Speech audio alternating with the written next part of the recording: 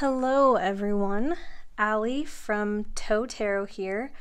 Welcome to my channel. This is the first of hopefully many videos that I will have for you guys with all kinds of tarot content, um, fun deck walkthroughs, uh, deck reviews, interviews with creators, all that kind of stuff. And today, I thought there would be. sorry about that. I do have dogs. Um, I thought today would be a fun day to talk about a couple decks of mine that a friend in one of my tarot groups created named Case Watson. Uh, a deck, uh, the deck of Ethereal Light, or the Tarot of Ethereal Light, and Tarot Naught. Now, this Tarot Naught is the fourth edition that he's made, and I thought it would be fun to walk through them both because they are kind of similar in his art style, but they're different in that the Tarot of Ethereal Light is a little bit brighter, and the Tarot Naught I find is really good for shadow work. So I figured we would just do a little side by side here, and I would show you guys the decks. Um, I'll also leave um, the links down below where you can get these decks from him.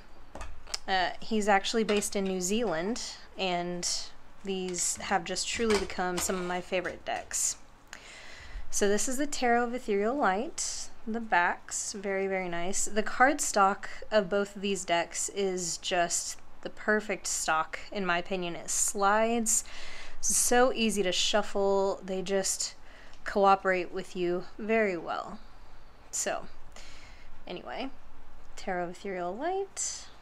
And then this deck also comes with a little poem So, love that. But there's that deck. And then this is Tarot Naught. And I decided to keep this um, deck in a bag. They come in white tuck boxes originally, but I had this tin made for Ethereal Light off MakePlayingCards. And then I found this bag that I liked for Tarot Naught that kind of fit the backs. So that's why I put it in this bag. Um, so there's the back, same kind of cardstock. Again, I'm a huge fan. Just perfect in my opinion, not too shiny. Tarot Naught 4. And his business is called Chaos Lotus Studios. Alright. So, let's go through. So what I like about his decks is that he's got little captions beneath them to kind of, uh, or not captions, keywords beneath them to kind of guide you if you need help. But I find that his decks are very, very intuitive. Um, not like a lot of a lot of other tarot decks where I need a guidebook um, or where I even rely on traditional meanings that I know. They're kind of storytelling decks to me. Um, they they like for me to talk about what I feel rather than see, and they kind of they're more. I don't know if the word is are artistic or expressive, I guess, than traditional tarot. So I really like that. But you can see, um, and you'll see even more as we go through, that they're both um, beautiful in their own right. So these are the magicians. Now, in both of his decks, um, in in Tarot of Ethereal Light, at least, there are a couple of cards that you can choose from to uh, swap out if you'd like. Um, he included a different Lilith in the Tarot Naught, uh, and this is the one that I picked. If I think about it, I'll, I'll go back and add a clip at the end of some of the variant cards because I don't have them with me. I just keep the decks um, as I as I built them. But I, I want to say there were five or six in the Ethereal Light that you could change, and then a, a little bit fewer in the Tarot Naught, but there's still a couple that you can change out. So I really like that too, that he lets you have um, customization with your deck. This one I know for sure. The High Priestess uh, I changed in the Ethereal Light for the Lilith card. But you can see just the colors itself are definitely different in both decks. And both decks you could read either way, honestly. Um, but like I said, I just feel Tarot Naught is a little bit more shadow work, which I like a lot. And some of the keywords do match on both decks, but he's also got a couple cards that have different interpretations, which I like. There's the Emperor. I really like this Emperor in the Ethereal Light. I think that's a cool image. Same with the Emperor. He just, he chooses great images. Your Hierophant. I love this Hierophant in Tarot Naught.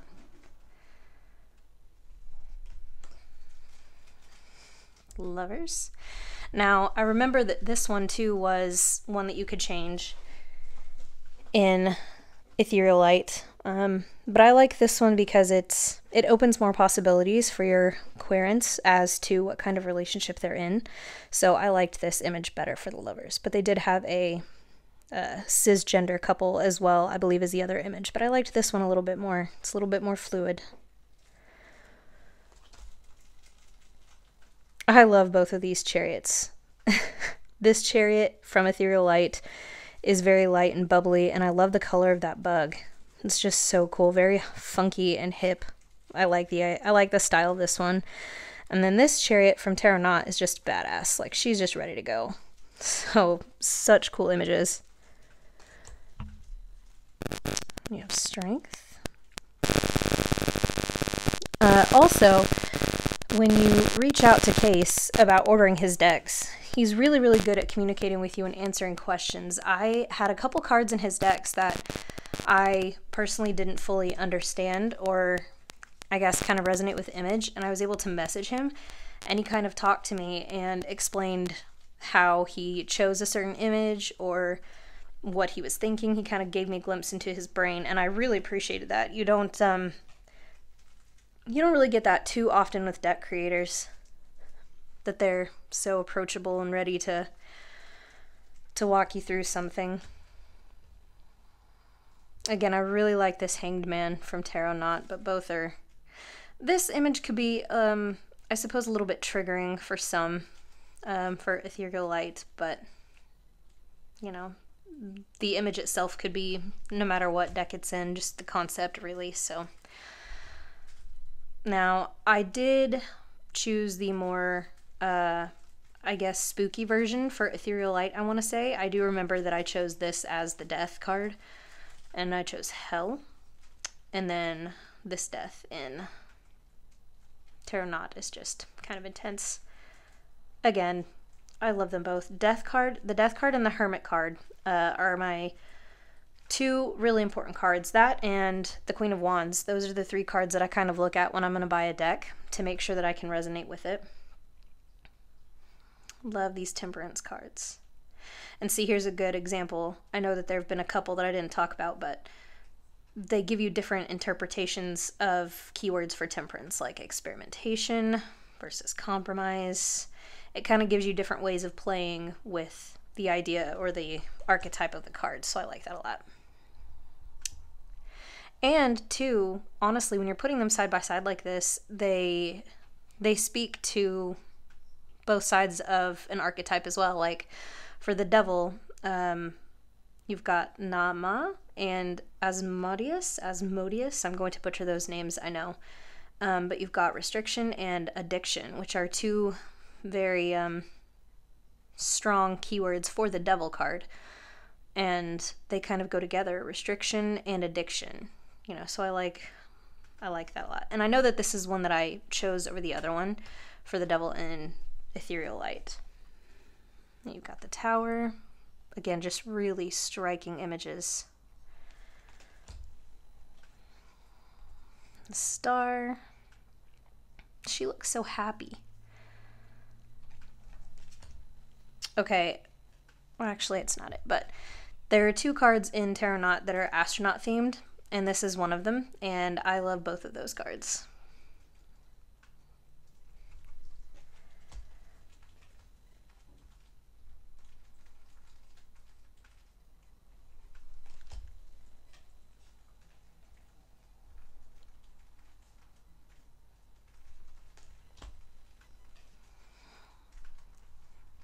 I love this image from Ethereal Light, walking through the shell, kind of going to that new place there, breaking breaking through. And this one, just really, really neat as well. I just love his imagery. I don't know. I could stare at his decks all day. Um, now, Ethereal Light also has this card, which is extra, and it's 22, the hero completion. You could kind of say it relates back to the Fool. Um, so I left it in here. But uh, yeah, Tarot Naught doesn't have that, but this is from Ethereal Light. And now we will get into the wands.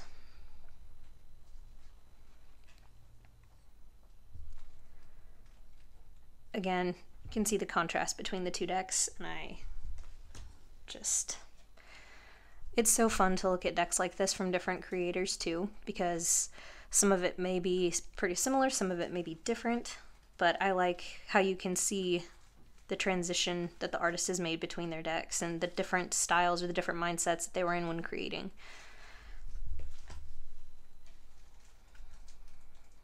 Love this image for the Three of Wands. Both of them are very strong.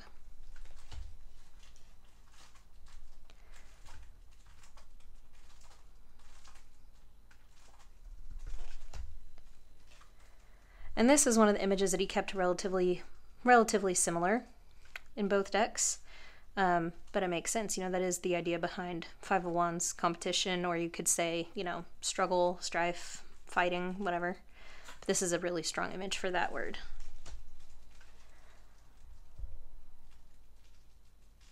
See, praise and recognition. Just perfection.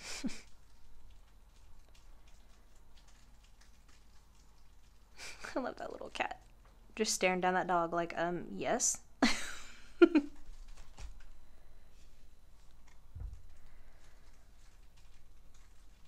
I remember loving this too um, from Tarot Ethereal Light. Just you're, you know, you're you're drowning. Lots coming at you all at once, and you've got to navigate that river. Just very strong metaphor.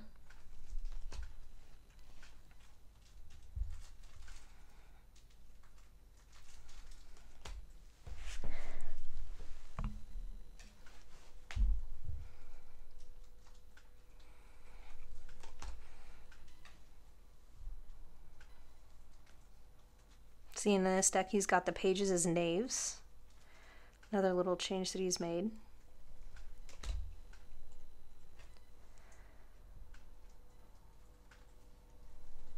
Oh, got myself all mixed up here.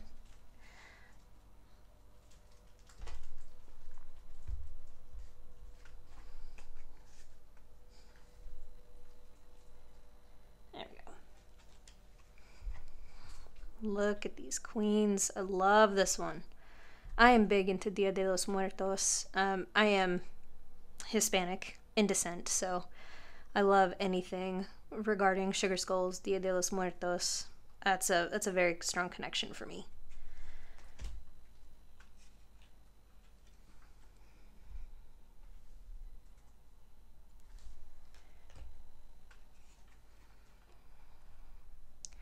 Now, see, I will pause here real quick. Um, this Ace of Cups is one of the images that I had asked Case about. I was like, can I ask you why you put a light bulb on the Ace of Cups? I mean, I see a light bulb more as, uh, you know, Ace of Wands. And he was like, well, you know, you you kind of walk into a room and you light up the room with your love, with your emotion, your charisma, you know it's it's it is an awakening. It's a new outpour of that emotion. So i was like oh, okay that makes sense. And i hadn't thought about it that way but he i've found that his decks kind of have challenged me a little bit into opening my interpretations and the way that i think about tarot. And so that's one reason why i will always love his decks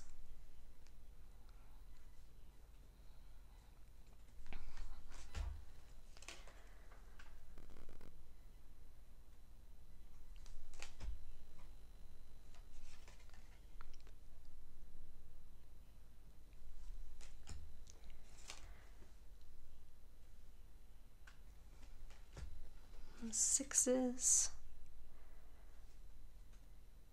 This one hurts my heart a little bit.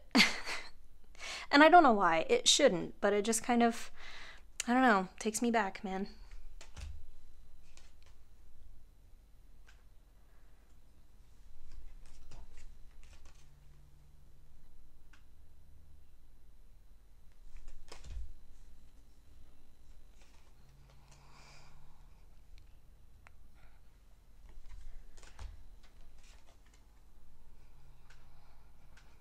Again, just out of all these images, you can certainly tell oranges, yellows, greens, blues, purples, blacks, grays, greens, dark reds.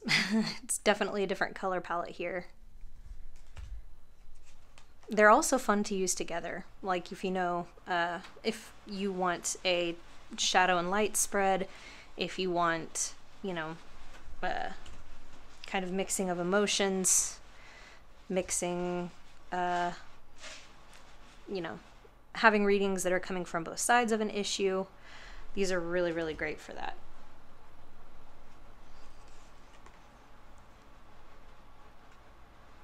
Love this Queen of Cups.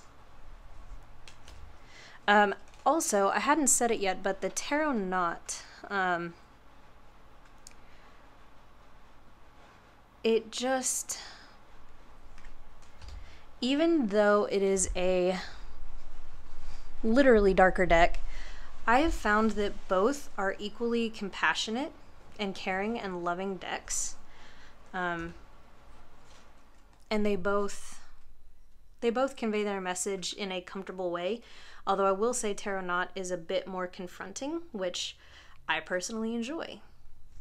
Both of them have the um, potential to do it. Um, I've had both of them kind of give me attitude when reading with them, but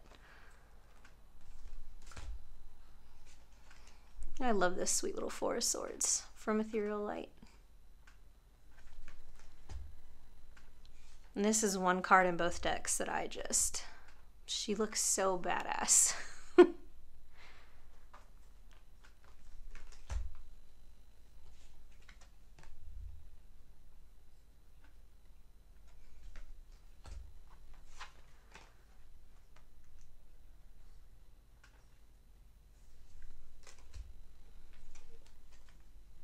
oh, cameo by Coda.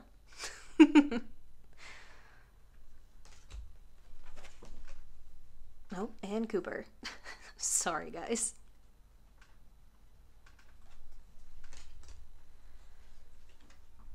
Now, this one was one that I wanted to make a point to talk about. Uh, with us being in the midst of this crazy pandemic, and I myself being a nurse in the operating room or surgery. And there's Cooper drinking. so sorry, guys. Life with dogs. Um, but yeah, especially as a nurse in this pandemic, this one really hits home. Just that feeling of, my God, I'm spent.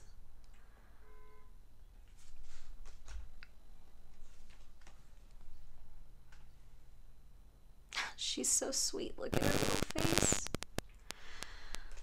Ah, okay. Here's the card that I was talking about earlier. This is probably my favorite card in the Tarot Naught deck, and it's the Knight of Swords. He's just hanging out, trying to hitchhike to Mars. I love that the sky is that beautiful purple. Boys, quit it. Look at this Queen of Swords. Again, I just because I tend to like darker decks, I do lean more towards Naught. But I do, I promise I appreciate them both. They're both amazing.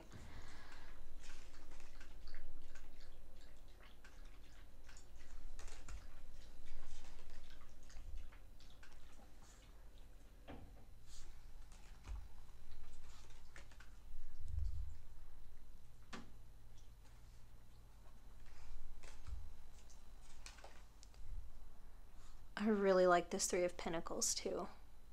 Just gorgeous. Now, this card was another one that I'd asked him about. Um, and this is actually an image of Jesus and his mother Mary. And this card image kind of speaks to uh, in in Christianity, you know, if uh,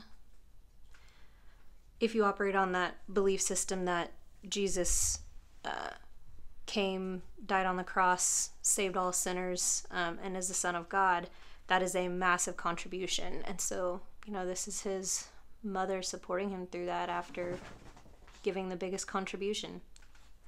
And you don't necessarily have to follow Christianity or be a Christian to appreciate that image. It is it is a very strong one, no matter who you are. Boys. every day, guys. This is every day in my house. This one really hits home too. Coda.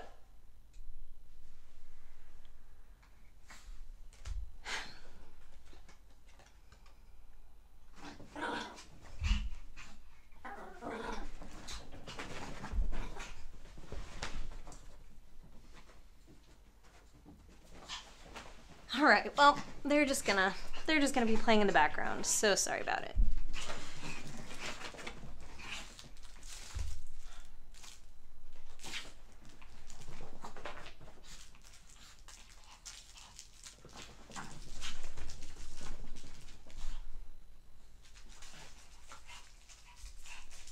Nine of Pentacles.